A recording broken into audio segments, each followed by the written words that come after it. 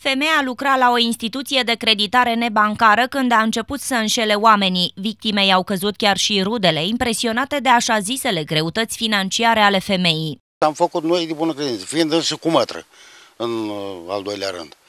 Și acum a zis că își vinde casa, că nu știu ce, dar casele nu sunt pe numele ei, mașina nu e pe numele ei. Și ea a început să plângă că te rog să mă ajut și am făcut împrumutul ăsta. Să tăvălească pe jos, să pun în genunchi că s-o ajut care mare nevoie, mare nevoie, să fac un împrumut pe numele meu.